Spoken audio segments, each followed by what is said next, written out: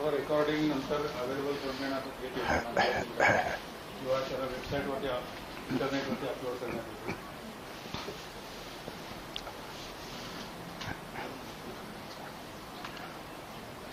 थोडं नामस्मरण करून आपण विषयाला सुरुवात करूया.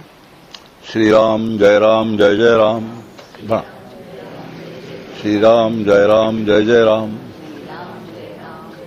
श्रीराम जय राम जय जय राम. जय जय रघुवीर समर्थ. प्रास्ताविकामध्ये फार चांगल्या पद्धतीने सांगितलं की प्रचंड ग्रंथ आहे फार मोठा आहे. अनेक विषय त्यात हाताळलेले आहेत. आणि एवढा मोठा विषय दहा बारा दिवसात संपूर्ण कुठं? जिकरीची गोष्ट आहे मुश्किल गोष्ट आहे. हे वाक्य मला फार उपयोगी पडणार आहे. हेच कारण आहे की संपलं नाही तर दोष दासबोधाचा आहे.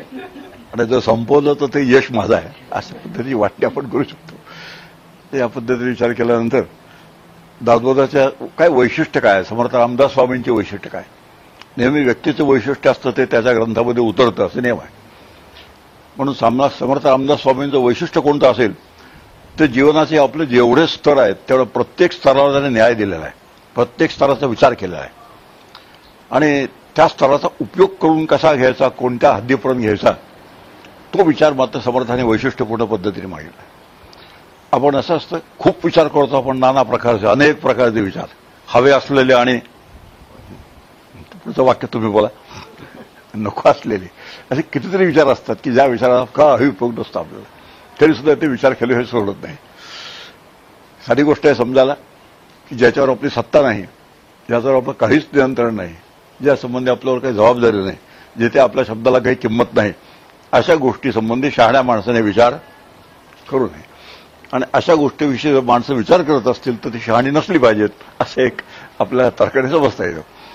म्हणून ज्या गोष्टींचा विचार करून आपल्याला निश्चित उपयोग आहे आपल्या जीवनात एक उंची गाठता येईल मोठी उंची देता येईल असे विचार कसे करावेत त्या विचारांचा पाया काय आहे त्या विचारांच्या पाठीमागे तत्वज्ञान काय आहे?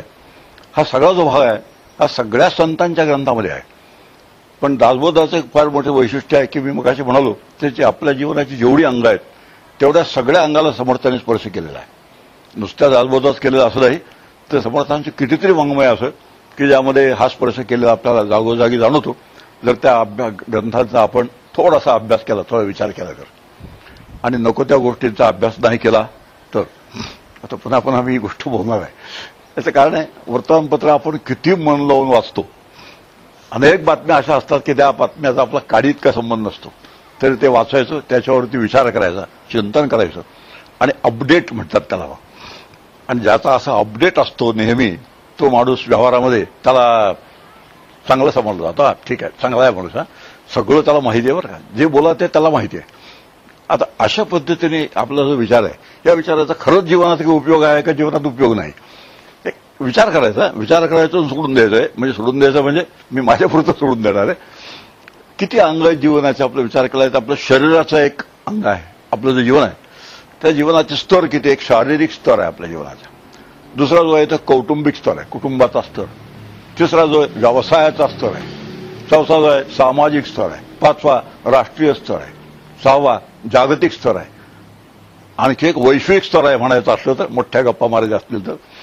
पण त्याही पलीकडे एक विश्वाच्या पलीकडचा स्तर आहे एक पारमार्थिक स्तर आध्यात्मिक स्तर.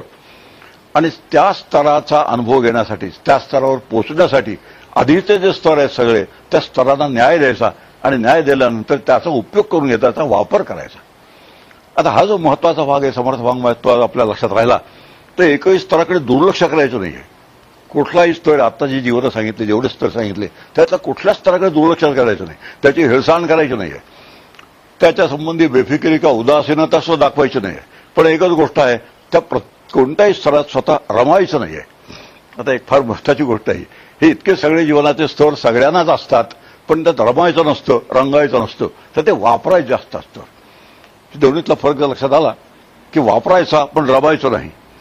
हे जर लक्षात आलं तर वापरता वापरता ज्यासाठी तो वापरायचा जो शेवटचा स्तर आहे त्या शेवटच्या स्तरापर्यंत आपल्याला जायला मदत होऊन जाते. आणि अशा शेवटच्या स्तरापर्यंत जो जातो तो मानवी जीवनाचं त्यांनी एक सफलता ज्याला म्हणतात ती सफलता प्राप्त करून गेलेली असते असं सगळ्या संतांचं आणि आपल्या परमार्थ शास्त्राचं म्हणणं आहे. समर्थांची सुरुवात आहे जन्म आली असे फळ काही करावे सफळ ऐसं न केला निर्फळ भूमिभार होय. समर्थांची वचन फार सुंदर आहेत अशी. जन्म आली असे फळ माणूस म्हणून जन्माला आल्यानंतर काही करावे सफळ. एक कोणती तरी सफलता म्हणजे सर्वोत्कृष्ट सफलता ही प्राप्त करून घ्यावी. असं जर केलं नाही तर आपला जन्म फुकट गेला असं समजायला हरकत नाही. समजायला फार अवघड आहे कारण आपल्या जन्माच्या साफल्याच्या कल्पना फार वेगळ्या असतात. आणि संतांच्या आणि शास्त्राच्या साफल्याच्या कल्पना खूप वेगळ्या असतात. आता त्यांच्या कल्पना का स्वीकारायच्या आणि आपल्या कल्पना का नाही स्वीकारायच्या? मी मग असे म्हणवलं एकही गोष्ट नाकारायची नाही हेळसाण करायचं नाही दुर्लक्ष करायचं नाही. पण त्याचा वापर करायचा पण त्यात रमायचं मात्र नाही. एक बेस आहे हा थीम आपण याला म्हणूया मध्यवर्ती कल्पना. ही मध्यवर्ती कल्पना आपल्या जर लक्षात आली बरोबर तर प्रत्येक स्तराचा वापर कसा करायचा आणि तो कशासाठी करायचा? शारीरिक स्तर आहे. समर्थांचं एक वैशिष्ट्य आहे की समर्थाने बलोपासनाला अतिशय महत्त्व आहे बारा बाराशे नमस्कार ते स्वतः घालत असत. आधी केले मग सांगितले. बाराशे नमस्कार स्वतः घालत असत. आता एक नाटक आहे मोठं. साष्टांग नमस्कार. तुम्ही कदाचित ऐकलं असेल. की त्यातला जो हिरो आहे तो हिरो बाराशे नमस्कार घालायचा पण मनातल्या मनात. आता आचार्य आत्रे असल्यानंतर काय विनोदाला तोटा नाही. असं मनातल्या मनात नमस्कार करून होणारी गोष्ट नाहीये. तर ते नमस्कार घालायचे बलोपासना करायची शरीर बलवान असलं पाहिजे आरोग्य संपन्न असलं पाहिजे. पण कशासाठी? आता एक महत्वाची गोष्ट आहे. शरीर आरोग्य संपन्न असलंच पाहिजे बलसंपन्न असलंच पाहिजे. त्यासाठी ते सांभाळलं पाहिजे. पण सांभाळायचं कशासाठी? शरीर सांभाळण्यासाठी सांभाळायचं नाही. शरीराचा उपयोग करून घेण्यासाठी सांभाळायचा उपयोग कश कशा कशासाठी करून घ्यायचा शरीराचा उपयोग कशासाठी करून घ्यायचा त्यात उरलेल्या सगळ्या जीवनाला शरीराचा उपयोग आहेच कौटुंबिक जीवनाला शरीराचा उपयोग आहे व्यावसायिक जीवनाला आहे सामाजिक जीवनाला आहे राष्ट्रीय जीवनाला आहे पुन्हा पुन्हा पुढचे पुढचे जीवन सांगतो सगळी वैश्विक जीवनाला आहे आणि विश्वबाह्य जीवन ज्याला म्हणतात विश्वनिरपेक्ष जीवन ज्याला पारमार्थिक जीवन असं म्हणतात पारमार्थिक म्हणतात त्याच्यासाठी त्या जीवन जगण्यासाठीही शरीराचा उपयोग आहे या हद्दीपर्यंत शरीराचा वापर करायचा हे आपल्या लक्षात राहत नाही. आणि वापर न करता आम्ही नुसतं शरीर सांभाळतो खरं आरोग्य संबंध ठेवतो खरं. त्याला काही कमी जास्त झालं तर त्याकडे पूर्ण लक्ष देतो हे खरं. पण एक सगळ्याचा ठोक आहे कितीही सांभाळलं तरी सुद्धा आता रामकृष्ण हरी पडसं बोलत नाही कितीही सांभाळा कसंही सांभाळा ते एक दिवशी त्याचं जे होणार आहे ते होणार आहे. मग आता सांभाळायचं कशासाठी? शरीरात रमण्यासाठी नाही सांभाळायचं. शरीरात रांगण्यासाठी सांभाळायचं नाही त्या शरीराच्या माध्यमातून ओवीचे प्रसिद्ध. या नरदेहाचे संबंधे बहुत पावले उत्तम पदे.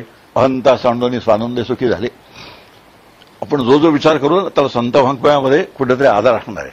आणि आधार असण्याचं कारण नाही हे देशमुखांचं नाही हे लक्षात यावं म्हणून. तर हे जे आहे म्हणणं जे आहे बोलणं जे आहे ते संतांचं आहे. आणि संतांच्या बोलणाऱ्या त्यांच्या अनुभवाचं मोठं पाठबळ असतं. अनुभवाचा बेस असतो. त्या अनुभवाच्या पाठबळावर ते बोलतात. आणि ते म्हणतात ते आपल्या बळे नाही मी बोलत बोलविता धनी वेगळाची. मी माझ्या बळाने बोलत नाही माझ्या मला बोलविता धनी वेगळा आहे.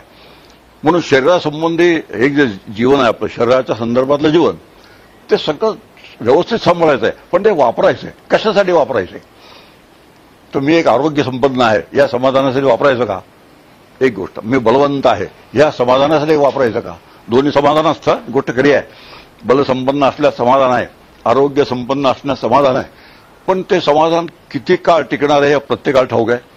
एकदा किंवा ते आरोग्य बिघडणार आहे. बळदे हा हळूहळू कमी होणार आहे. मी काही वेळा माझ्या गोष्टी सांगतो. माझ्या गोष्टी सांगण्याचा हेतू असा आहे की नाही तर आमच्या प्रवचनकारांची कीर्तनकारांची एक पद्धत असते. दुसऱ्याची दुसऱ्याला टीका करायची. त्याच्या संबंधी मी माझ्या संबंधी बोलतो म्हणजे लोकांना बरं वाटतं. आणि त्यांना वाटतं हाही आमच्यातलाच आहे चांगली गोष्ट असते. आता जेव्हा लहान होतो तेव्हा दोन दोन पायऱ्या एकदम चढून असं जिन्यातून जायचो तरुण असताना. पण आता प्रत्येक पायरीवर एक पाय ठेवून पुन्हा दुसऱ्या पायरीवर मोजून व्यवस्थित बघून सगळ्या पाय लागतो लागतं. असं का झालं? एकच कारण आहे. त्यावेळेस जो चपळपणा होता त्यावेळेस उत्साह होता ते जे आरोग्य होतं ते आरोग्य राहिलं नाही आता. आता हेच आमच्या लक्षात आलं तर कितीही ह्या शहरात जर रमलं आणि रंगलं तरी सुद्धा या शरीराचं जे व्हायचं होणार आहे. यात निराशा नाही हा. त्या परमार्थात नेहमी एक आरोप केला जातो निराशेचा. की माणसाला खचवण्याचं काम परमार्थ करतो का निराश करण्याचं काम करतो का जीवनातला उत्साह त्याने भंगून जातो का असे काही परमार्थावरती न समजता न लक्षात घेता केलेले आरोप असतात. पण परमार्थ नीट समजून घेतला तर हा त्याचा अजिबात हेतू नाही. उलट ते शरीर वापरावं. आणि ते शरीर वापरल्यानंतर ते शरीर वापरण्याचं जे शेवटचं उद्दिष्ट आहे ते पार पाडल्यानंतर आपल्याला कळतं हे शरीरात जे आहे ते वापरण्याचं एक साधन होतं. आपली सर्वांचं वाहन आहे प्रत्येकाजवळ इथे. वाहन एक आपल्यासाठी वापरण्याचं साधन आहे. त्याची आपण छान काळजी घेतो. वेळच्या वेळी इंधन घालतो वेळच्या वेळी त्याचं सर्व्हिसिंग करतो काय जे करायचं असेल ते सगळं करतो. आता इतकं सगळं केल्यानंतर त्या वाहनात बसून राहायचं असतं का वापरायचं असतो? तर विचार केल्यानंतर आपल्याला कळतं त्या वाहनात बसून नाही राहायचं ते वाहन वापरायचं आहे तसं या शरीरात रमायचं नाही या शरीरात रंगायचं नाही हे शरीर वापरायचं आहे. कशासाठी वापरायचं आहे? जन्म आल्याचे फळ काही करावे? सफळ. आता ही जी सफळता आहे ती सफळता कशात आहे? ते शेवटच्या समासात दालबोजाच्या विसाव्या दशकाचा शेवटच्या समासामध्ये आपल्यासमोर समर्थाने मांडलेलं आहे. की शेवटच्या शेवट चोव्या आहेत. झाले साधनाचे फळ संसार झाला सफळ निर्गुण ब्रह्म ते निश्चळ अंतरी आता संसार सफळ झालं ते लक्षण आहे. ते निर्गुण ब्रह्म जे असतं निर्गुण ब्रह्म ते निश्चळ अत्यंत स्थिरतेने त्या ब्रह्माचा मला अनुभव आला. हे झालं की आपल्या जीवनाचं सार्थक झालेलं आहे. त्या पलीकडे आणखीन जीवनाचं सार्थक नाही. याच्या पलीकडे आणखीन जीवनाचं सार्थक असू शकत नाही. आणि हे एकदा सार्थक झालं की शरीराकडून जे वसूल करून घ्यायचं असतं काम ते आपण वसूल केल्यासारखं होतं. असं काय आहे? आपण समजा एखादा नोकर ठेवला त्याच्याकडून सगळं काम वसूल करून घेतो. आता नोकराकडून काम वसूल करून घ्यायचं बरोबर आहे. पण शरीराकडून काहीतरी काम वसूल करून घ्यायचं असतं हे लवकर लक्षात राहत नाही. आणि कोणतं काम वसूल करून घ्यायचं? उद्योग व्यवसायासंबंधी प्रपंचासंबंधीचं काम हे तर सगळेजण करतात. त्यात वसुलीचा काहीच भाग नसतो ते होतच आपोआप होतं सहज होऊन जातं.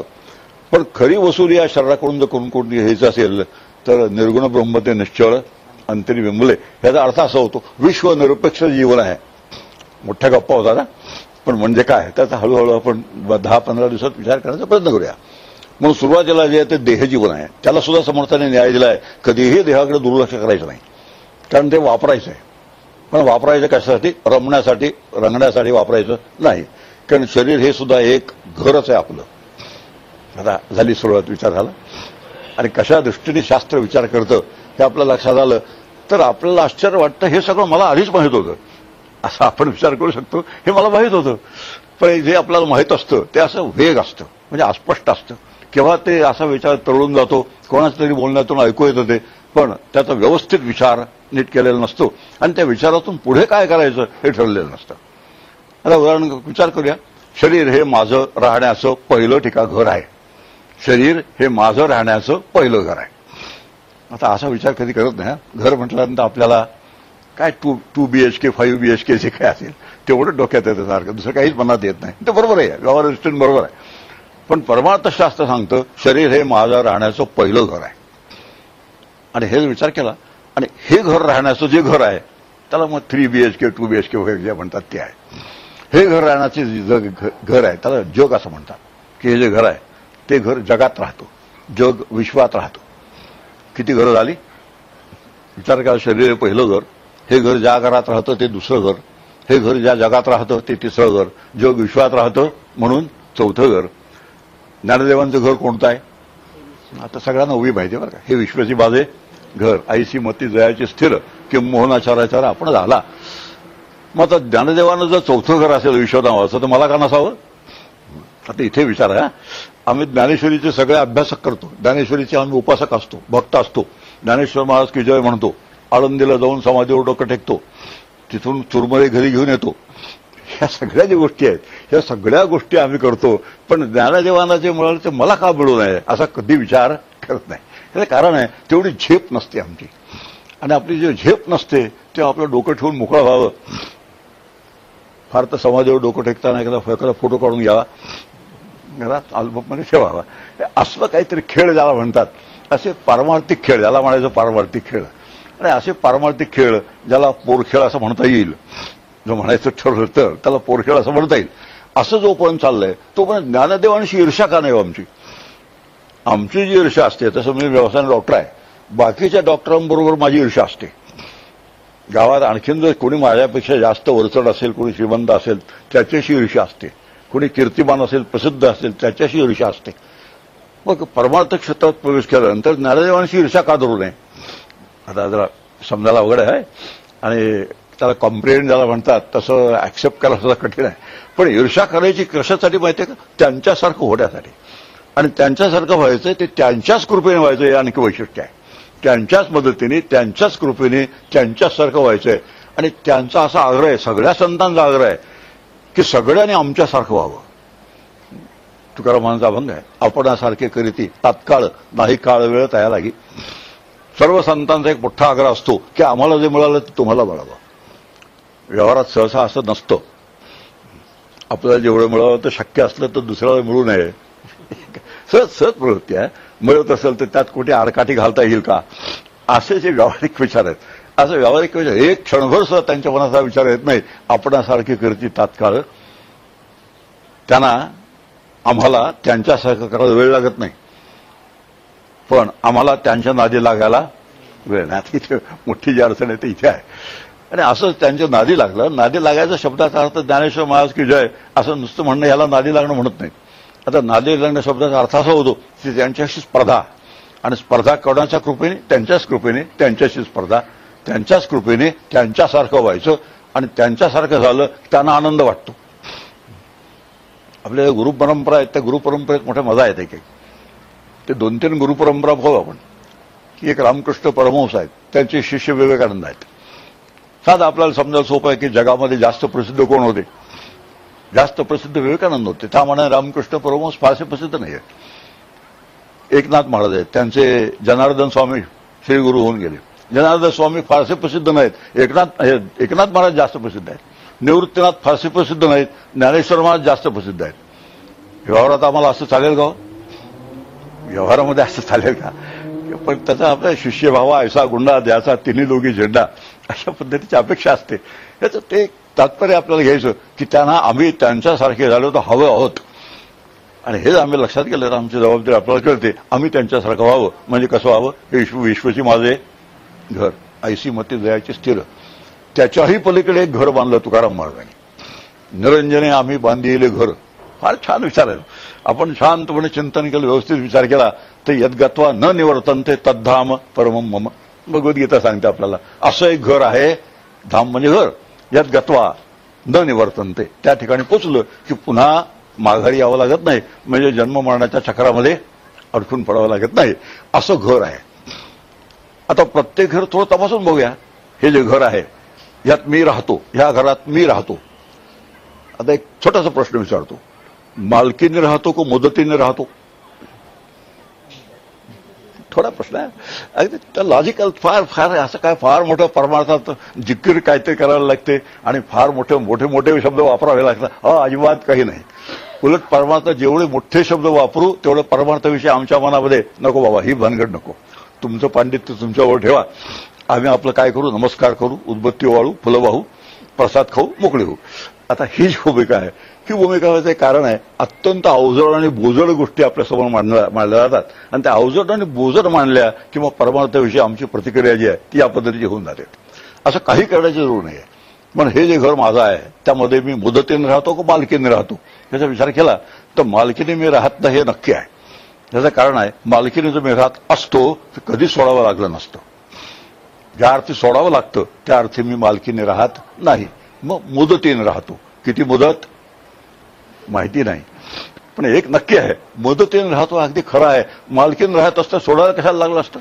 मग ज्या अर्थी सोडावं लागतं त्या अर्थी मी मालकीनं राहत नाही मुदतीने राहतो. आणखी एक विचार आहे हे शरीर मला मिळालंय का मी आणलंय? म्हणजे हे घर जे आहे हे घर मला मिळालंय का मी आणलंय? तर थोडं काय विचार करूया. असं आहे आणलं जर असतं तर मनापास पसंतीचं आणलं असतं की नाही? तर्क काय? अतिशय साधं तर्क काय असं आणा आणलं जास्त असतं साधी भाजी आपण आणायला गेलो कोळी कोळी ताजी ताजी निवडून आणतो. मग शरीर जमीन आणलं असतं तर असलं कशाला आणलं असतं? मी एक विधान करून टाकतो इथे बसल्या बसल्या. इथे जमलेल्या कोणालाही स्वतःचं शरीर फारसं पसंत नाही. काहीतरी कुठेतरी असं जरा असं असं बरं असतं तर बरं झालं असतं. यात थोडा बदल असता तर बरं झाला असतो.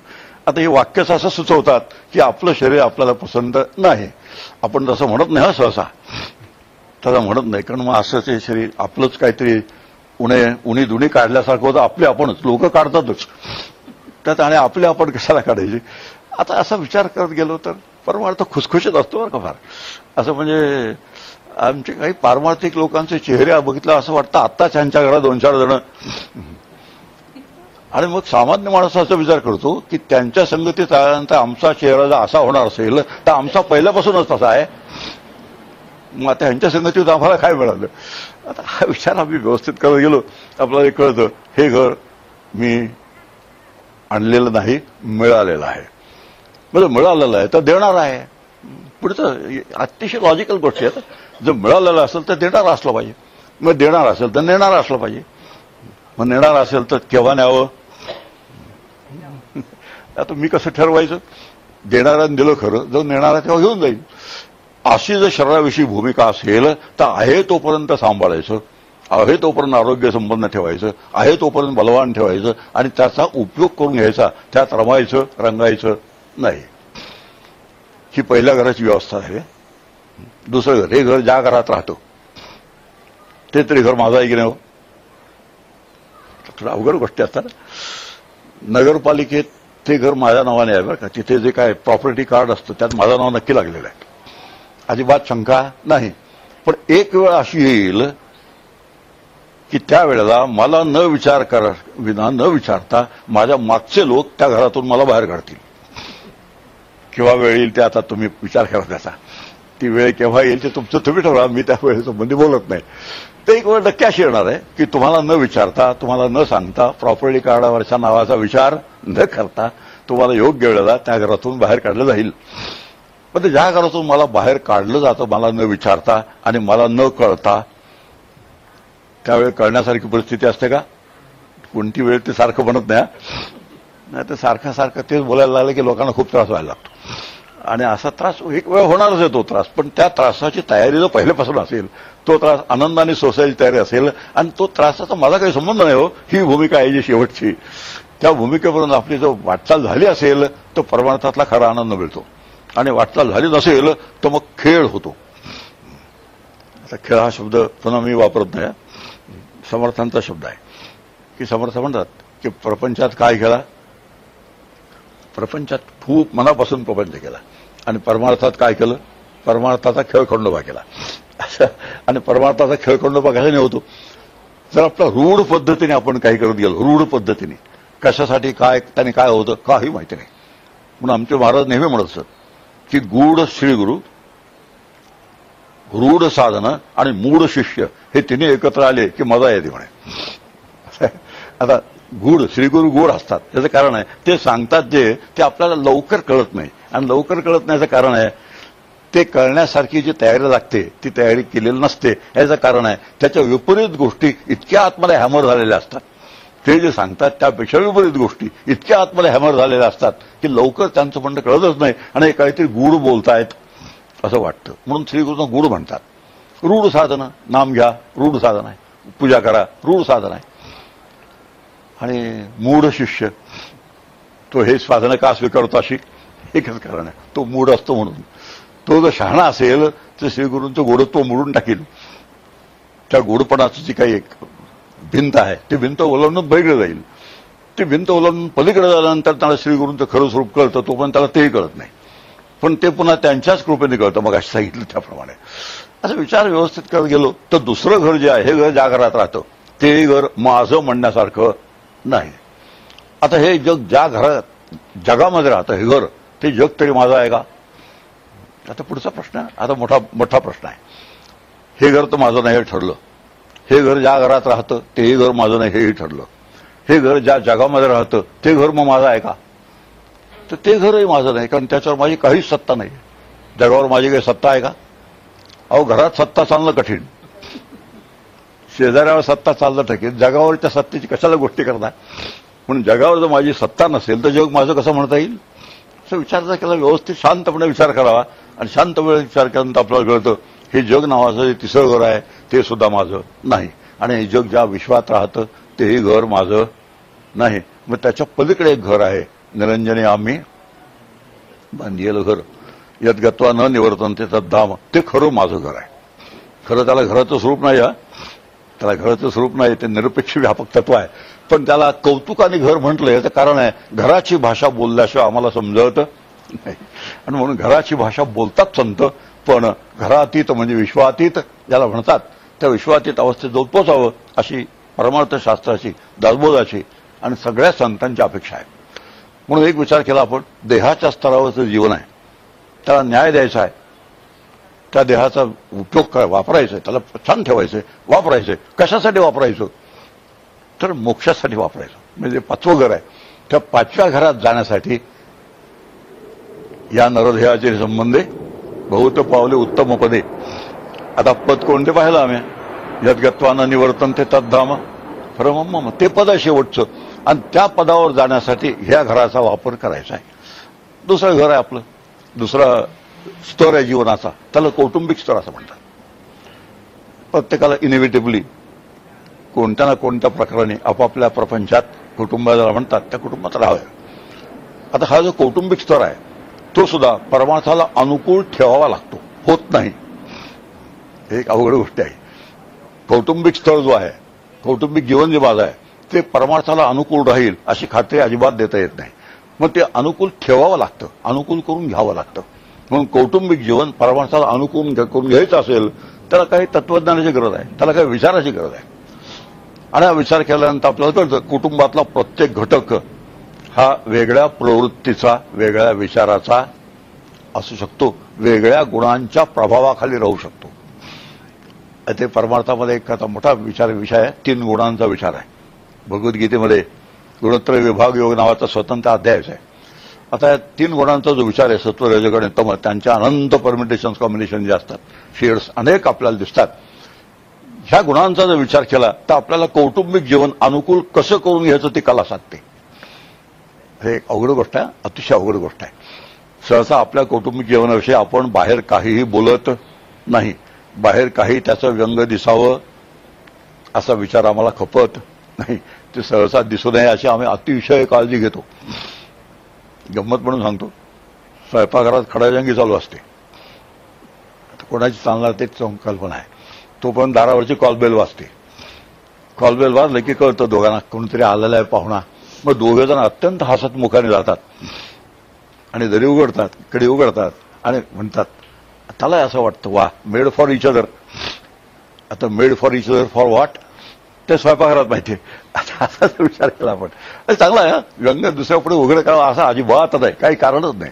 उलट स्वतःचं व्यंग कोणाला सांगू नये हा आपलं व्यवहारशास्त्र सांगतं आपलं प्रपंचशास्त्र सांगतं. मुद्दा तो नाही आहे मुद्दा तो आहे की प्रत्येक कुटुंबातला प्रत्येक घटक हा तीन गुणांच्यापैकी कुठल्या तरी गुणाच्या अंमलाखाली असतो. आता एक अतिशय महत्त्वाचा विचार आहे. कौटुंबिक स्तर जो आहे आपल्या जीवनाचा तो परमार्थाला अनुकूल कसा करून घ्यायचा? ही कला आहे मोठी आणि ही जी कला आहे ती कला शास्त्राच्या अभ्यासाने येते.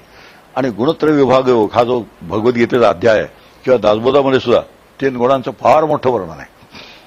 आता मायन्यूट त्याला तपशील मांडणं म्हणतात. तर तपशील मोठ्या प्रमाणावर दासबोधामध्ये दिलेला आहे. एकनाथी भागवतात दिलेला आहे. सगळ्या ह्या मोठ्या मोठ्या ग्रंथामध्ये तीन गुणांचा मोठा तपशील दिला आहे आता तपशील कशासाठी दिला आहे तो पाठ करण्यासाठी दिलेला नाही माहिती असण्यासाठी दिलेला नाही. वापरण्यासाठी दिलेला आहे. परमार्थामध्ये हाच मोठा दोष आहे. आपल्याला माहीत होतं आपल्याला पाठही होतं पण वापरता मात्र येत नाही. आणि जो वापरता येतो ज्याला तो कौटुंबिक जीवनाचा असतो उपयोग. आपलं सर्वात स्थळ शेवटचा आहे तो गाठण्यासाठी करू शकतो. कौटुंबिक जीवनात अडचण कुठली असते? मुख्य ते सांगितलं की प्रत्येक घटक कुटुंबातला एका ना एक गुणाच्या अंमलाखाली असतो. अंमल शब्द समजायला खूप सोपा आहे अंमला शब्द. अंमली पदार्थ असतात आपल्या सौख्य की जिथे सिंगापूरमध्ये फार भयंकर आहे परिस्थिती त्यासंबंधी.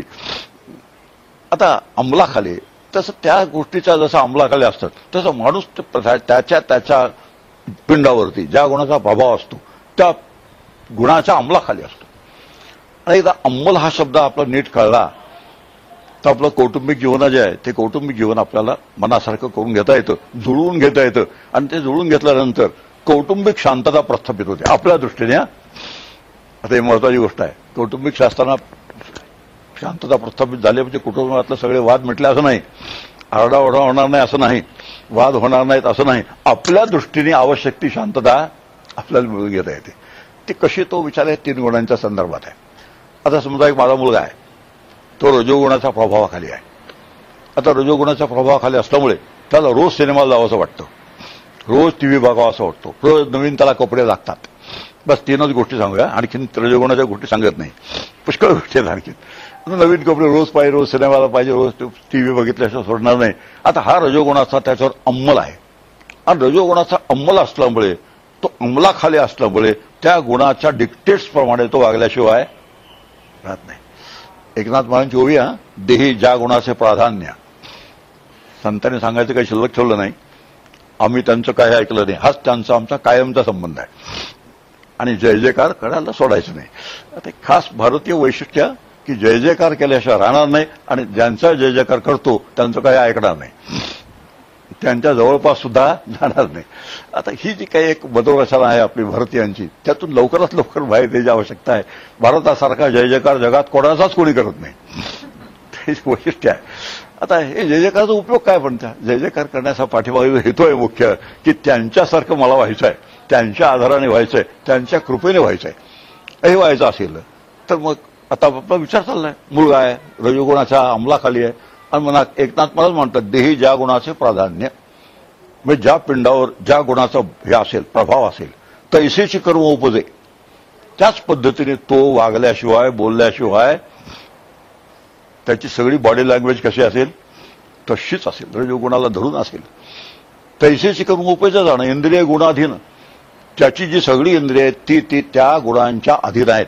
त्या गुणांच्या अंमलाखाली आहेत. तदनुसार न वर्तती. त्यामुळे ती तशीच वागतात. तो डोळ्याने असं का बघेल? आता डोळे नावाचं इंद्रिय आहे. त्या डोळे नावाचं इंद्रिय आहे. ते तीन गुणांच्या अधीन आहे. मन नावाचं इंद्रिय आहे. त्या रजोगुणाचा अधीन आहे. तो तसंच असल्यामुळे तो माझ्याकडे तिरक्या नजराने बघितल्याशिवाय राहणार नाही. तिरकी नजर म्हणजे रजोगुणाच्या संदर्भात म्हणत्या. तर बघितल्याशिवाय राहणार नाही. तैसेची कर्म आहे. हे जर कायमचं लक्षात राहिलं माझ्या कुटुंबातला प्रत्येक घटक माझ्या सगट हा? न ते आणखी एक आहे की मी तेवढा बरोबर अगदी नामानिराळा सगळ्यांपेक्षा वेगळा छान आणि बाकीचे सगळे कुठेतरी गडबडी आहेत. हाच एक विचार आहे. हा सुद्धा विचार एक मोठा घातक विचार आहे. साधक्या नात्याने? जो विश्वाच्या अतीत असलं ते जे एक जीवन आहे आपलं त्या जीवनाकडे जायचं असेल त्या जीवनाची झेप जर आपल्याला घ्यायची असेल तर हा सुद्धा विचार असा उपयोगी नाही. मी सुद्धा माझ्या गुणाच्या अंमलाखाली असतो आणि त्या अंमलातून मी माझी सुटका करून घेतली पाहिजे हे ज्ञानेश्वर मला सांगतायत. तू गुणत्रया ते अवहेरी मी माझे हे न करी एक आत्मसुखांतरी विसंप झाली. तो तीन गुणांचा अंमल जो आहे तुझ्यावरचा त्यातून हळूहळू बाजूला हो. म्हणजे दुसऱ्यासाठी तत्वज्ञान नाही माझ्यासाठी आहे माझ्यापासून सुरुवात आहे. हे जर लक्षात असेल सगळं बरोबर तर प्रत्येक कुटुंब कुटुंबातला प्रत्येक घटक त्या त्या गुणाच्या अंमलाखाली असल्यामुळे आपल्यासमोर काही वेळ प्रश्न येतात. हा असा बोलतोच कसा? हा असा वागतोच कसा? आता आमच्यासमोर प्रश्नच आहे ना हा असा बोलतोच कसा? हा असा वागतोच कसा? त्याचं उत्तर फार सोपं आहे. हा असा नाही तर कसा वागणार? हा असं नाही बोलणार तर कसा बोलणार? त्याचं कारण आहे तो त्या गुणाच्या अंमलाखाली आहे. आणि तो गुणाच्या अंमलाखाली असल्यामुळे तो जसं बोलतो तसं गुणाकडे लक्ष द्यायचं त्याच्या आणि गुणाकडे लक्ष द्यायचं गुण ही ईश्वराची व्यवस्था आहे. बघा किती छान रचना आहे. शास्त्राची रचना अतिशय सुंदर आहे. तीन गुण ही ईश्वराची रचना आहे. त्या ईश्वराच्या रचनेनुसार प्रत्येक शरीरामध्ये प्रत्येक पिंडामध्ये तीन ची व्याप तीन गुण व्यापून आहेत. आणि त्याच्या व्यवस्थेनुसार हे सगळं चाललेलं असल्यामुळे ते माझ्या व्यवस्थेखाली नसल्यामुळे एक महत्वाची गोष्ट आहे. हे जी सत्ता आहे ही ईश्वरी सत्ता आहे. तीन गुण ईश्वरा सत्तेचा भाग आहे. आणि त्या ईश्वरी सत्तेनुसार प्रत्येक शरीरामध्ये पिंडामध्ये जो गुण आहे त्या गुणाचा आम्हाला तो राहतो सत्ता त्याची आहे का माझी आहे? आता हा जो विचार असेल सत्ता त्याची आहे. आणि त्याच्या सत्तेमुळे ते तसं जे चाललंय तसं ते चालतं याला म्हणतात शरणागती. आम्ही सगळेजण स्वतःला भक्त म्हणवतो बरं का. आणि आमच्या परीने आपण असतो सुद्धा. पण तुकारामांचं एक फार छान वाक्य आहे. भक्त म्हणविता गोड वाटे करणे करता तीर फाटे. अनपार्लमेंटरी शब्द आहे. पण आमच्या भारतात पार्लमेंटची एक पद्धत आहे. आधी अनपार्लमेंटरी शब्द वापरायचा नंतर रेकॉर्ड म्हणून काढून टाकायचा. ही जी पद्धत आहे भारतामध्ये फार छान पद्धत आहे ती. तुकाराम महाराज पार्लमेंटरी अनपार्लमेंटरी काही विचार करत नाहीत. ते म्हणतात भक्त मिळविता गोर वाटे. मी भक्त आहे असं म्हणून गेला फार छान वाटतं. पण प्रत्येक तसं जगायची वेळ आली की काय होतं? पुन्हा अनपार्लमेंटरी शब्द वापरत नाही. आता याच्यावरून आपल्या लक्षात येईल की शरणागती हा भक्तीचा एक फार मोठा घटक आहे. फार मोठा घटक आहे. म्हणजे ते शरणागती नसते तिथे भक्तीचा नुसता वरवरचा खेळ असतो. दिखाऊ भक्ती असते. आणि शरणागतीचा अर्थच असा आहे की जग त्याच्या योजनेनुसार चाललेलं आहे माझ्या योजनेनुसार चाललेलं नाही आणि कधीही चालणार नाही. मग तो अंडरलाय ना? कधीही चालणार नाही. जोपर्यंत घरातले लोक माझ्यावर अवलंबून आहेत तोपर्यंत कदाचित माझ्या म्हणण्याप्रमाणे वागतात असं दाखवतील. रामकृष्ण हरी एवढ्यावर थांबून जातो. तर आपलं लक्षात घेतलं तर एक आपल्याला कळतं की ते माझ्या अंमलाखाली नाही त्याच्या अंमलाखाली आहे. असं असल्यामुळे त्याने जसं ठेवलंय शांतपणे तसं स्वीकारलं. आपलं कर्तव्य नीट करत असताना पण कुटुंबिक स्तरावरती हे एक फार महत्वाची गोष्ट आहे. काही कौटुंबिक जबाबदाऱ्या असतात. अगदी चुकीचं वागत असेल तर सांगितलं पाहिजे. त्याला दुरुस्त करण्यासाठी प्रयत्न केला पाहिजे. प्रसंगी रागवायची वेळ आली तर रागवलं पाहिजे. आमच्या लहानपणी पद्धत होती. आत्ताच्या आत्ता घरातून चालता हो. वडील सांगायचे बरं का मी दोन वेळा तसा घरातून बाहेर पडलेला आहे. आत्ताच्या आत्ता घरातून बाहेर पड. पण ते त्या दोघांचा आपापसात ठरलेलं असायचं आई वडिलांचं याने बाहेर काढायचं आणि तिने पाठीमागून जेवायला वाढायचं. छान झालं. आता चांगलं उत्तम झालेलं असं. अगदी ह्या ह्या पद्धतीने आपण विचार करूया. आणि असा विचार केल्यानंतर आपल्याला कळतं हळूहळू की ते ना माझ्या स्वाधीन नाही आहेत ना या गोष्टी माझ्या स्वाधीन नाही आहेत. आणि ज्या माझ्या स्वाधीन नाहीत त्या माझ्या स्वाधीन असल्यासारखं जो आपल्याला वाटतं तेव्हा मग कुटुंबामध्ये आपल्या दृष्टीने बिघाड होतो. आणि आपल्या दृष्टीने बिघाड झाला की मग कौटुंबिक जीवन आपल्याला हे पारमार्थिक स्तरासाठी वापरता येतं नाही आपलं तो हो आहे. म्हणून कौटुंबिक जीवन नावाचं एक जीवन आहे. आणि ते जीवन जे आहे ते अनुकूल करून घ्यावं लागतं. अनुकूल होईल अशी खात्री नसते. सगळं जग मला अनुकूल होईल आणि मग मी परमार्थ करीन. असं ज्याला वाटतं त्याच्यासारखं मूर्ख माणूस या जगामध्ये दुसरा नाही. याचं कारण आहे जग जगाचे काही नियम आहेत. आता आपण पुष्कळ दहा बारा दिवस आपण बोलणार आहोत तर जगाचा पहिला नियम आहे आत्मानस्तु कामाय सर्व प्रियम भवती. बृहदारण्यक उपनिषदामध्ये मैत्री आणि याज्ञवल्क यांचा संवाद आहे. त्या संवादामध्ये हा एक विषय आहे आत्मानस्तु कामाय सर्व प्रियम भवती. म्हणजे प्रत्येकाला दुसरा जो प्रिय वाटतो ते स्वतःच्या सुखासाठी वाटतो. आता हे त्याचं साधं मराठी भाषण झालंय. आत्मानस्त कावाय सर्वम प्रेम भवती. मोठी यादी दिली त्याने याज्ञवल्क्याने. आता आपण एक इथे सर्वांना ऍक्सेप्ट होईल अशी यादी करूया. कारण काही एखाद्या यादीत एक दोन घटक असे येतील की आपल्या सर्वांना ते अडचणीचे ठरतील. आपण त्याचा विचार नको करूया. आता भाऊ आणि बहीण समजा एकमेकाला अनुकूल असतील तर बहीण भावाला अनुकूल खूप पर्यंत वाटते? तर तुकाराम महान त्याचं उत्तर दिलंय. बहीण म्हणे दादा दादा जवळ तेजीत होता धंदा. तुकाराम महाराज म्हणतात माझं काही नाही. बहीण भावाला दादा दादा कुटपट म्हणते? त्याचा धंदा तेजीत असेपर्यंत आणि भाऊबीजला तो पुरेसं देतो तोपर्यंत. ते सगळं बंद झालं की त्याचा दादा पण जे आहे ते दादा पण त्याचा हळूहळू पिकं व्हायला लागतं. आता यातलं तात्पर्य काय? आत्मानुस्त काम आहे सर्वम प्रेम भवती अनियम आहे. तर प्रत्येक जण स्वतःच्या सुखाचा विचार पहिल्याने करतो आणि स्वतःच्या सुखासाठी दुसऱ्याचा विचार करतो. आता हे जरा थोडं वाक्य तपासून घ्यायला पाहिजे. स्वतःच्या सुखासाठी दुसऱ्याचा विचार करतो. असं जेव्हा म्हणतो मी त्यावेळेला आपण जेव्हा दुसऱ्याचा विचार करतो त्यावेळेला त्यामध्ये माझ्या सुखाचा विचार दडलेला असतो का? हा आपण जर आपल्या आतमध्ये शोध घेतला तर आपल्याला कळतो. मी जेव्हा दुसऱ्याचा विचार केल्याचा आवडतो जरा समजायला अवघड असतं. मी एखाद्याला दान देतो व त्याला हजार रुपये मी देऊन टाकले. आता मी त्याच्या अडचणीचा विचार केला. त्याच्या अडचणीचा विचार करून मी त्याला एक हजार रुपये दान देऊन टाकलं.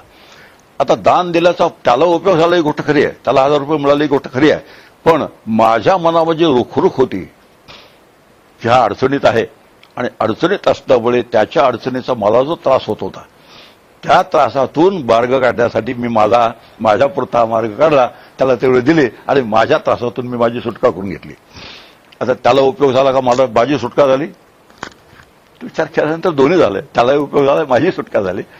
आता तेवढ्यानं त्याची सुटका होते का? एकदा एक हजार रुपये देण्यानं एखाद्याची सुटका होते का? होत नाही. पण पुढचा विचार आपण करत नाही. का आत्ताच्या काम झालं ना? आपलं आत्ताचं जे दडपण होतं ते दडपण गेलं की नाही? आत्ता माझ्यापुरतं काम झालेलं आहे पुढे चला. असं आहे. एखादा माणूस पाप करतो ते सुखासाठीच करतो. पुण्य करतो तेही सुखासाठीच करतो. विधान चमत्कारी काय? पण चोरी हे नावाचं पाप असेल तर चोरीतून पैसे मिळतात. पैशातून सुखाची साधनं विकत घेता येतात. आणि एखाद्याला मदत करणे जो पुण्य असेल तर ते पुण्य केल्यामुळे पुन्हा मदत केल्याचं काय मिळतं मला? नुकसान सोसून ना? स्वतःचं नुकसान सोसून तो काय दुसऱ्याचं चोरून घेऊन त्याला सुख मिळतं? हे मला माझं देऊन सुख मिळतं. आता हे कसं आहे? एक मोठा कॉन्ट्रास्ट आहे हा. चोरूनही सुखच मिळतं आणि देऊनही सुखच मिळतं. मग दोन्हीतून आम्ही काय मिळवतो? दोन्हीतून सुखच मिळवतो म्हणून तो नियम अबाधित राहतो आत्मानस्तु कामाय सर्व प्रियम भवती. आणि हे जर एकदा तात्पर्य सूत्र कायमचं लक्षात ठेवलं आपल्या आतमध्ये हे सूत्र कायमचं लक्षात ठेवलं हे सूत्र जर जपलं तर हा असं करील असं मला वाटलं नव्हतं हो. काय वाक्य झालं? ते हो जे आहे ना तेवढं मला चांगलं म्हणता येत नाही. हा बोलेल असं मला वाटलं नव्हतं हो. आता हा जो आत्ता जमला थोडस तिचं हो जो आहे या हो मध्ये जो काही त्रास आहे या हो मध्ये जी निराशा आहे या हो मध्ये जो त्रा त्रागा आहे त्यातली एकही गोष्ट शिल्लक राहत नाही. आणि जिथे त्रागा असतो त्रास असतो निराशा असते त्या ठिकाणी सुख नसतं. त्या ठिकाणी दुःख असतं. आणि परमार्थाचं अत्यंत वाकडं कशाशी असेल तर दुःखाशी आहे. आता एक साधं वाक्य सांगून टाकतो. ज्या क्षणी मला दुःख होतं त्या क्षणी मी परमार्थाचा पराभव केलेला असतो. ज्या क्षणी सुखरूपतेचा मला अनुभव येतो त्या क्षणी मी परमार्थाचा मला जसा उपयोग करून घ्यायला पाहिजे तसा उपयोग करून घ्यायला त्याचं कारण आहे. आता प्रत्येक गोष्टीच्या पाठीमागे फार सुंदर विचार आहे. सुख आहे आपलं स्वरूप आहे. आणि दुःख आगांतुक आहे. सुख दुःख मीमांसा आहे परमार्थ. पुष्कळ मीमांसा आहे. सुख हे आपलं स्वरूप आहे दुःख आगांतुक असतं. उदाहरणार्थ तीन ठिक पन्नास ठिकाणी पन्नास वेळेला पन्नास प्रसंगाने मी जर अनेक सुख भोगली असतील आता इथे जमलेल्याने सगळ्याने. आतापर्यंत कमी सुख भोग सुख भोगलीत का हो जीवनामध्ये? हजाराने सुख भोगली असतील. जर आम्ही त्याचा थोडा नोंद करायचा प्रयत्न केले तर. दुःख फार थोडी भोगलेली असतात. पण लक्षात काय राहतं? लक्षात काय राहतं? आता आतापर्यंत हजारो ठिकाणी माझ्या घरात हात घातले बरं का. पाचशे रुपये किमतीचे हजार रुपये किमतीचे. एक ठिकाणी फक्त नुसतं तुळशीचा हार घातला. सदाफुलीची फुलं दारात जोगवली ती ती घेतली तुळशीची पानं घातली आणि कसा तरी हार घातला. तेवढं लक्षात राहिलं बरं का. पाचशे हजार रुपयाचं काय ते माझा हक्कच आहे तो. आणि हे काय तुम्ही मला समजता काय असला हार घालता मला. लक्षात कोणता राहिला? असं असं आहे. त्याचा त्रास झाला तर लक्षात राहिला. आणखी एक सांगतो. माझी बायको माझ्या घरात पन्नास वर्ष राहिली. असं कोणी म्हणतो कोणी असं म्हणत नाही. उलट मीच तिच्या घरात राहिलं अर्थाचा संभव आहे. पण पाहुणा आला तर काय होतो? एखाद्या पाहुणा आला आगंतुक असतो. तीन दिवस झाले चार दिवस झाले पंधरा दिवस झाले. मग आता रिटर्न तिकीट काढलंय की नाही कोणास ठूक आता असं का सुरू होतं? एकच कारण आहे पाहुणा आगंतुक असते आणि बायको घरातली असते. हे जसं आहे तसं सुख हे माझं स्वरूप आहे दुःख आगांतुक आहे. जे आगांतुक आहे ते लक्षात राहतं. सुख हे स्वरूपच आहे. त्यामुळे पारमार्थिक दृष्टीने सुख हा माझा स्वरूपसिद्ध हक्क आहे. जरा टिळकांची भाषा वापरूया. स्वराज्य हा माझा आणि त्या पद्धतीने सुख हा माझा स्वरूपसिद्ध हक्क आहे. तो हक्क आम्ही गमावत बसतो आणि नाही ते दुःख ओढवून घेतो. आणि हे का होतं? एकच कारण आहे. वेदांत शास्त्र जाणून घेत नाही. जाणलं असलं तर पाठपाठांतराच्या पलीकडे ते जात नाही. वापरायच्या भानगडीकडे पडत नाही. आणि वापरलं जर तर आपला मुद्दा चाललाय. कौटुंबिक स्तर जो आहे आपला जीवनाचा. तर कौटुंबिक स्तर अत्यंत सुखाचा व्यवस्थित आपला मा- आपला आपल्या पुरता करून घेता येतो. संबंध कुटुंब सुखी होईल असं नाही ते सुखी होण्याची शक्यता नाही. आणि हे बोलून दाखवायचं नाही. पारमार्थिक लोकांचं एक फार वेळा चुकतो बरं का. जरासं आतमध्ये थोडं काही ठरलं की लगेच बोलून दाखवतात आणि ते झेपलं नाही की मग ते अंगावर येतं. असं काय असं काही करू नये. म्हणून मी नेहमी म्हणतो पारमार्थिक माणसाने आतल्या गाठीचं असावं. म्हणजे काय? सगळं ठरवावं सगळी योजना करावी सगळे भेद करावे एक सुद्धा बोलून दाखवू नये. कारण तसं नाही जमलं तर काय होतं? काय मारे म्हणत होतात पण प्रत्यक्षात काय झालं बघा? असं म्हणण्याची वेळ आली मग त्याचा फार त्रास होतो. मुद्दा आपला चाललाय. हे जे कौटुंबिक जीवन आहे ते कौटुंबिक जीवन आपल्याला परमार्थासाठी घेता येतं. पर कुटुंब हे सुखात राहण्याची शक्यता आपल्यामुळे सुखात राहील ही शक्यता नसते. आपण प्रयत्न करावा त्या दिशेने प्रयत्न करावा. पण ते जमेलच अशी खाते देता येत नाही. ह्याचं पुढचं जीवन आहे की जे व्यावसायिक जीवन आहे. आधी प्रपंच करावा नेटका मग घ्यावे परमार्थ विवेका. आता व्यवसाय हा प्रपंचाचाच घटक आहे. कुटुंब जीवन हा प्रपंचाचाच जे घटक आहे. त्यामुळे आधी प्रपंच करावा नेटका असं जेव्हा समर्थ सांगतात तर कौटुंबिक जीवनही नेटकं असावं आणि व्यावसायिक जीवन सुद्धा नेटकं असावं. दोन्ही जीवन नेटके असले पाहिजे. म्हणून व्यावसायिक जीवन नेटकं असायला हवं असेल परमार्थाच्या संदर्भात आता आपला एक कायमचं लक्षात ठेवायचं संदर्भ परमार्थाचा आहे.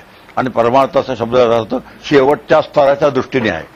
आणि तो शेवटचा जो स्तर आहे त्या शेवटच्या स्तराच्या प्राप्तीसाठी सगळ्या स्तरांचा बाकीचा वापर करायचा आहे.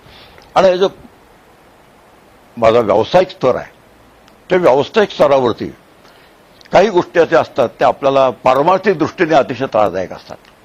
त्यामध्ये एक गोष्ट आहे ईर्षा आणि स्पर्धा. दोन गोष्टी आहेत. व्यावसायिक जीवनामध्ये जर ईर्षा असेल व्यावसायिक जीवनात जर स्पर्धा असेल तर जिथे ईर्षा असते स्पर्धा असते तिथे मन अस्वस्थ असतं. जिथे मन अस्वस्थ असतं तिथे दुःख असतं अशांत असतं. आणि गीता प्रश्न विचारते आपल्याला अशांतस्य कुठं सुखम? हा सुंदर प्रश्न विचारला अतिशय मार्मिक प्रश्न आहे अशांतस्य कुठं सुखम? जो अशांत असतो त्याला सुख असेल कसं? आणि अशांती हा तुमच्या आमच्या जीवनाचा काय असतो? स्थायी भाव असतो. अखंड कारडा कारणाने कारणा कारणाने अशांत राहणं हे तुमच्या आमच्या जीवनाचं स्थायी. कुरुक्षेत्र नावाचं एक रेल्वे स्टेशन आहे. तर रेल्वे स्टेशन हा अभंग लिहिलेला आहे. आपला श्लोक लिहिलेला आहे. आणि त्यामध्ये अशांत अशांतस्य कुतुसुखम असा भाग आहे. काँग्रेसच्या राज्यात गीतेचा श्लोक. जाऊया रामकृष्ण हरी. आपण पुढे जाऊया. कुराणाचं लिहिते रेखावले पण गीतेचं लिहिण्याची शक्यता फार कमी आहे. कारण शेवटी मतांचा गठ्ठा असतो ना डोळ्यासमोर. जाऊ ते आपण वीज जोडून द्या आता मुद्दा आपला चाललाय. की व्यावसायिक जीवन आहे. हे व्यावसायिक जीवनामध्ये स्पर्धा जिथे असते ईर्ष्या जिथे असते तिथे सुख नसतं. आणि जिथे ईर्ष्या आणि स्पर्धा आहे त्या ठिकाणी आपल्याला असं वाटतं बरं का की स्पर्धेने आणि ईर्षेने व्यवसायामध्ये सुधारणा होईल का हो? लॉजिक आहे सिंपल लॉजिक आहे. फार असं फार मोठं परमार्थामध्ये लॉजिकचं महत्त्व खूप आहे. साध्या विचाराचं महत्त्व खूप आहे. पारमार्थिक विचारांचं फार थोडा रोल आहे. परमार्थामध्ये विचार केला जातो ब्रह्मजीव जगत माया हे जे काही विचार आहेत. त्या जगाचा एक लिमिटेड रोल आहे. बाकी पुष्कळ जो आपलं परमार्थशास्त्र आहे त्याचं जे साधनं आहेत ती लॉजिकवर आधारलेली साधनं आहेत. लॉजिक मला सांगतं स्पर्धे आत- स्पर्धा सांभाळून आतमध्ये माझ्या व्यवसायात काही भर पडेल का? माझ्या व्यवसायात काही फरक पडेल का? वृद्धी होईल का? याचा विचार केला तर त्याचं उत्तर नाही असं होतं. पुन्हा मी माझा अनुभव सांगतो. मुरगुणवाडी मेन रोड आहे. त्या इकडच्या बाजूला माझा दवाखाना होता. पलीकडच्या रस्त्यावरती रस्त्याच्या पलीकडच्या बाजूला होता. समोरासमोर दवाखाना आहे. आता जिथे ईर्ष्या असते आणि स्पर्धा असते ना तिथे माझं लक्ष जास्त कुठे असेल? आता समजायला फार सोपं आहे. माझ्या दवाखान्यात तर लक्ष राहीलच पण समोरच्या दवाखान्यात सुद्धा लक्ष जास्त राहील. त्याच्याकडे कोण कोण जात आहे? किती लोक जात आहेत? पुढचा परिणाम सांगतो. त्याच्याकडे काल गेलेला आज जो माझ्याकडे आला काल तिकडे गेल्यावर कसं वाटलं? आता असं जर मनात आलं तर तो माझ्याकडे त्याचं दुःख घालवण्यासाठी आलाय. का माझ्याकडून असलं काहीतरी बोलण्या ऐकण्यासाठी आलाय? साधा विचार अगदी समजायला सोपं आहे. आणि हे लक्षात आलं तर ईर्ष्या स्पर्धा त्यापेक्षा माझ्या दवाखान्यात मी जास्त लक्ष दिलं. तो कुठे कचरा असला तो जो स्वच्छ करून घेतला त्याच्याकडे बघण्याच्या ऐवजी. तर माझा दवाखाना जास्त चांगला चालेल त्याच्यापेक्षा. म्हणून स्पर्धेने ईर्षेने काहीही आपल्या व्यवसायात भर पडत नाही. हे जितक्या लवकर लक्षात येईल तितक्या लवकर स्पर्धेपासून ईर्षेपासून आपण मोकळे होऊ. आणि जिथे ईर्ष्या आणि स्पर्धा असते तिथं द्वैत अत्यंत घट्ट झालेलं असतं. आता बघा परमार्थाशी वाकडं जे आहेत ते असं आपलं की परमार्थात अद्वैत हा अनुभव घ्यायचा आहे. अनुभव कशाचा घ्यायचा? अद्वैताचा आहे. आणि रोज घट्ट काय करायचं असतं? ईर्षेने द्वैत घट्ट होतं. स्पर्धेने द्वैत घट्ट होतं. आणि ईर्ष्यानं स्पर्धा असेल असेल ते नीट भोगता येत नाही. आता इथे नाव घ्यायला हरकत नाही. सिंगापुरात. बंधू आहेत दोघे जण. भारतामध्ये.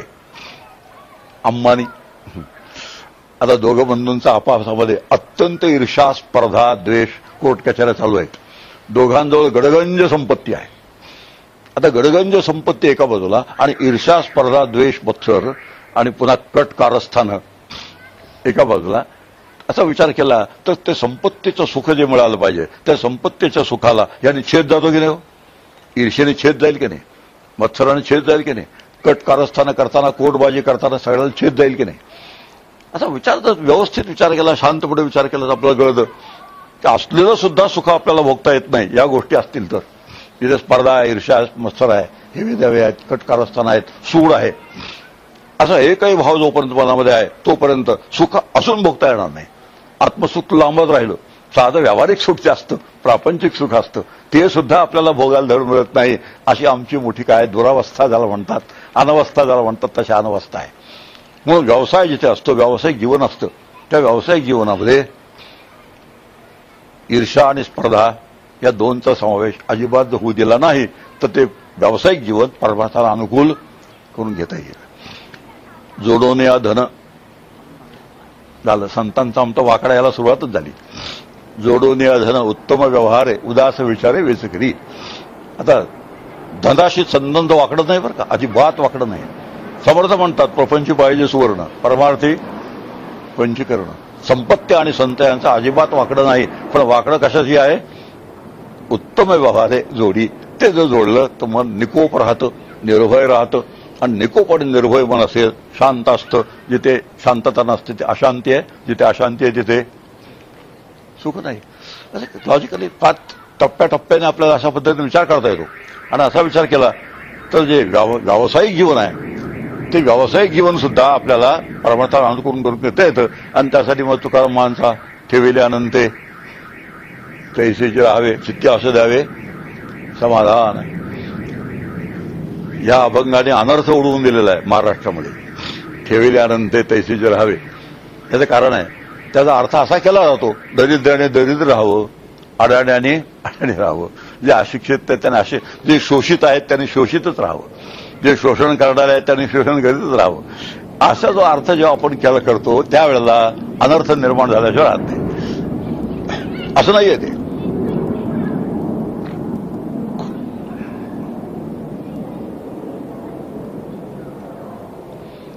आपलं स्वतःचं कर्म उत्कृष्ट रीतीने करत असताना. त्याला आलं ना संतांचं वचन आलं. तैसे आपुलीने विहिता.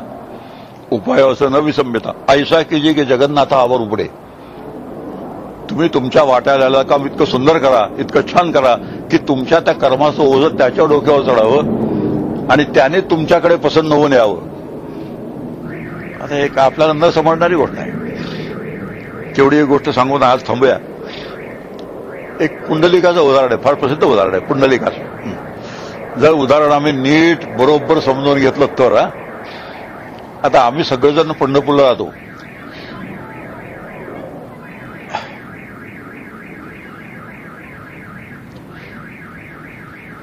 आमचं जे विठ्ठलाचं दर्शन असतं ते किती रुबाबदार असतं त्याचा विचार करूया. पंढरपुराच्या रांगेत विठ्ठलाचं उभं राहून जे दर्शन आम्हाला होतं ते किती रुबाबदार असतं. तर पहिल्यांदा दहा तास रांगेत उभा राहायचो. हा रुबाव नंबर एक. आत गेल्यावर पोलिसांनी मान्यावर हात ठेवायचा. रुबाव नंबर दोन. आणखी आत गेलं की बडवे ढकलतात. रुबाब नंबर तीन. आणि पायावर डोकं ठेवतो न ठेवतो तो पण उचकून बाहेर काढतात. रुबाब नंबर चार. असं आमचं पंढरपुरात गेल्यानंतर विठ्ठलाचं दर्शन रुबाबदार असतं. आता एक दर्शन एका बाजूला आणि दुसरं दर्शन. पुंडलिकाला जे विठ्ठलाचं दर्शन झालं ते कसं झालं? आम्ही वारकरी म्हणता येईल बरं का. पुंडलिक वरदा हरी विठ्ठल जोरात. इतक्या जोरात गजर असतो की ते पुंडलिकाचे कान किटून गेले आता ऐकून ऐकून. विठ्ठलांत कानावर हात ठेवले ऐकू सुद्धा देतो. याचं कारण आहे ज्या निमित्ताने पुंडलिक वरदा हरी विठ्ठल म्हटलं जातं त्या निमित्ताकडे कोणाचंही लक्ष नाहीये.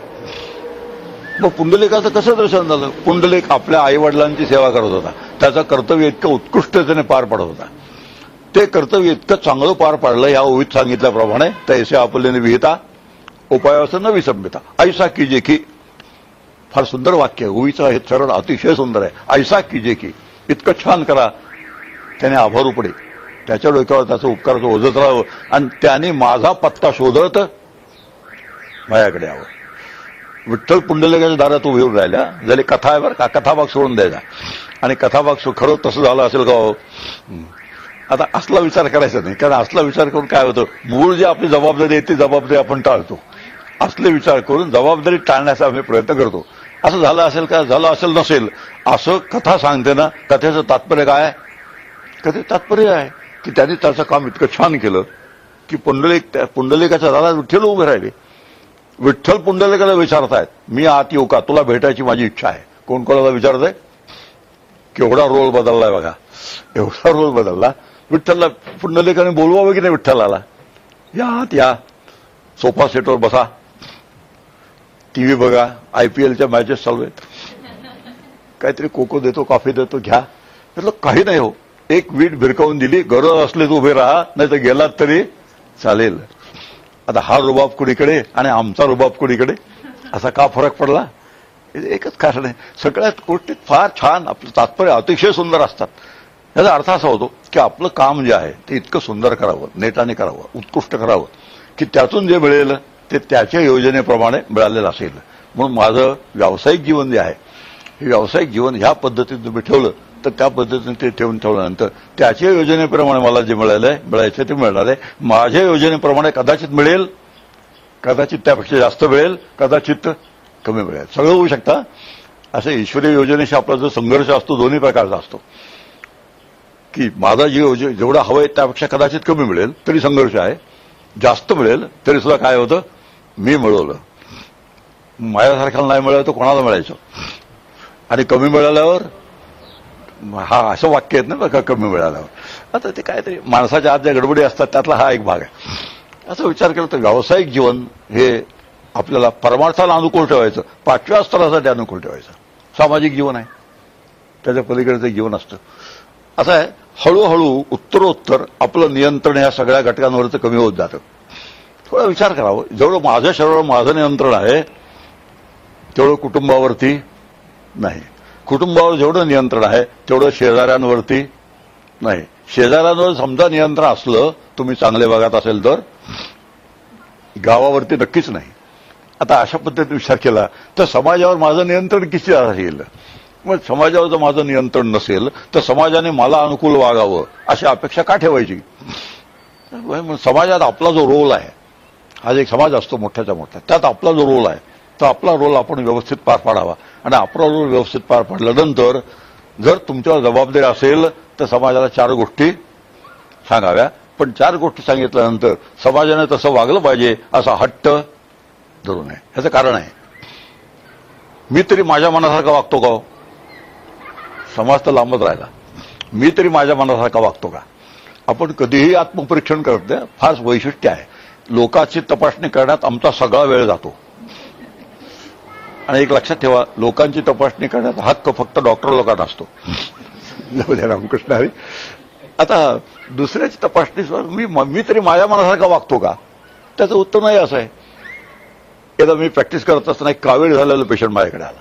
लिव्हर बिघडलेली होती. आल्यावर त्याचं पहिलं वाक्य मला कावीळ झाले मला माहिती आहे. ती कावीळ मी पी पिऊन झाले हेही मला ठाऊक आहे. आता त्याचाच प्रश्न मी तुमच्याकडे आलोय तुम्हाला जे कन्सल्टेशनची फी दिली आहे ती मला जे माहिती आहे ते तुम्ही सांगण्यासाठी दिलेलं नाही आहे. ऐकता ना मी काय ते. आता ह्याचा अर्थ असा होतो की मी प्यायल्यामुळे मला कावीळ झाली होय त्याला माहिती आहे. पण माझ्या तोंडातून त्याची ऐकायची तयारी नाही की तू पेचं बंद कर. याचा अर्थ असा होतो त्यालाच माहिती आपण पिता कामा नाही. पण तरी सुद्धा तो त्याचं स्वतःच तो ऐकत नाहीये. आता कळलं असेल मला काय भरायचं ते. आता मीच माझं ऐकत नसेल तर जग माझं ऐकलं कसं शक्य आहे? विचार केला तर आपल्याला लॉजिक हा सिंपल लॉजिक आहे. आणि असं लॉजिक वापरलं तर समाजामध्ये आपला रोल जो आहे तो व्यवस्थित पार पाडावा. आणि मग समाज मला अनुकूल होईल अशी अपेक्षा ठेवू नये. एवढं जर केलं तर सामाजिक जीवन आपल्याला परमार्थाला अनुकूल होतं. मग आता पुढचं राजकीय जीवन आहे. जाऊ दे स्तर आहेत पुष्कळ. मग जागतिक स्तर आहे. मग अमेरिकेत काय चाललंय? ऑस्ट्रेलियात काय झालंय? मंदीचा परिणाम कुठे? किती आहे? पेट्रोलच्या किमती का भडकतायत? मग ते मेक्सिकोच्या आखातात काय चाललंय? तिथे कॅप का बसवली नाही? अशा पद्धतीचे विचार जे असतात. ठीक आहे ऐकावे सोडून द्यावे. पेट्रोलच्या पंपावर गेलं वाढलेलं दर असेल तो द्यावा. निवडपणाने परवडत असेल तर नसेल सोडून द्यावं. अशा पद्धतीने जगाकडेच आपण छान त्रयस्थ पद्धतीने व्हायला शिकलो तर जग आपल्याला परमार्थाला अनुकूल करून घेता येईल. आणि वैश्विक स्तर तर बोलायचंच काम नाही. अनंत कोटी ब्रह्मांड आहेत अपार भरलेली. आता ह्या सर्वाच्या पलीकडे एक स्तर आहे आणि त्याला पारमार्थिक स्तर असं म्हणतात.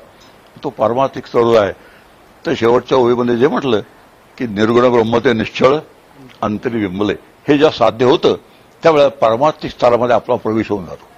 आणि एकदा पारमार्थिक स्तरामध्ये प्रवेश झाला की अलीकडचे स्तर जे आहेत हे सगळे अलीकडचे स्तर वापरायचे असतात आणि जिथून आपण सुरुवात केली वापरायचं पण रमायचं नाही. कारण रमण्यात शहाणपणा काय? ह्याच्यात कारण ह्यात मी रमलो तर एक दिवशी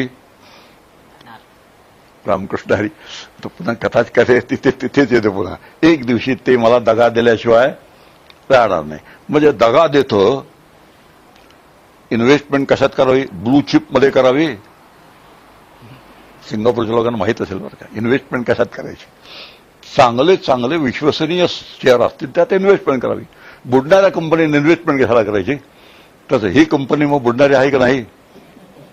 शरीर नावाची जी कंपनी आहे ती बुडणारी आहे. मग त्याने इन्व्हेस्टमेंट करू नये हो. आता इन्व्हेस्टमेंट करू नये शब्दाचा अर्थ असा होतो की त्यामधून कसली अपेक्षा ठेवू नये? डिव्हिडंड मिळण्याची अपेक्षा नाही. उलट लॉस होईल रोज काय होईल त्याचं आयुष्य कमी कमी कमी होत चाललंय. म्हणून जिथे अशाश्वत आहे त्या ठिकाणी इन्व्हेस्टमेंट करू नये. मग शाश्वत काय आहे? आत्मा नावाचा तो शाश्वत आहे त्यात इन्व्हेस्टमेंट करावी. आता आपलं समजणारी भाषा आहे. आणि आत्मा नावाच्या तत्वात इन्व्हेस्टमेंट करून तो आत्मा मी असा अनुभव घेणं याला पारमार्थिक स्तर असं म्हणतात. आणि जो शेवटचा स्तर आहे तो आपल्याला गाठायचा असेल तर अलीकडचे स्तर आहेत ते नीटनेटके ठेवायचे. ते चांगल्या पद्धतीने वापरायचे. त्याच्यात रमायचं नाही रंगायचं नाही. याचं कारण आहे रमण्याच्या आणि रंगण्याच्या लायकीचे ते स्तरच नाही आहेत आता आम्ही विचार नीट व्यवस्थित विचार केला तर आपल्याला कळतं. हे स्तर रमण्याच्या आणि रंगण्याच्या लायकीचे नाहीत मग रमावं आणि रंगावं कशामध्ये? मन हे रामरंगी रंगले. हा गाणं ऐकायला छान आहे विश्वरंगी रंगले वगैरे वगैरे. गाणं छान ताल छान वाद्याची साथ छान. ऐकताना फार छान वाटतं पण पुढं काही छान नाही. असं जे काही आमची वाटणी आहे या वाटणीतून जे आम्ही बाहेर येऊ त्याच वेळेला शेवटच्या स्तरापर्यंत आपली वाटचाल होईल. आणि मग शेवटच्या स्तरातलं जे आहे झाले साधनाचे फळ संसार झाला सफळ निर्गुण ब्रह्म ते निश्चळ अंतरी बिंबले ह्या दासबोधाच्या अखेरच्या होईपर्यंत आपली मजल गाठण्याची आपली क्षमता तयार होऊन जाईल. अशी क्षमता तयार होण्यासाठी जो विचार करावा लागतो तो पुढच्या दहा बारा दिवसात आपल्या क्षमतेप्रमाणे आपण करू हरिओम तत्सा